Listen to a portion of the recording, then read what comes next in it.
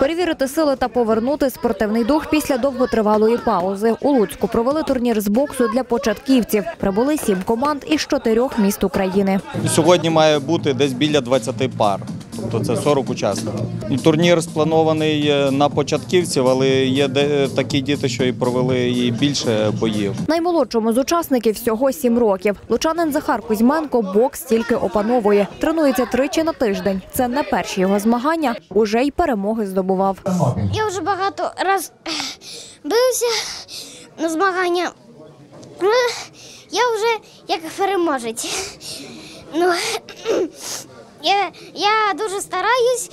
Я хочу бути чемпіоном.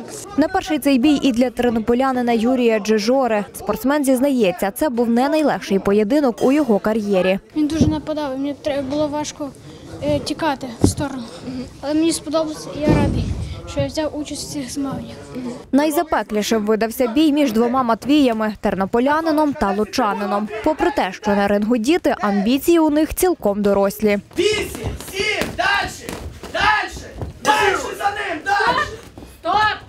Я задоволений боєм. В кінці, звісно, програв, але напевно, що добре.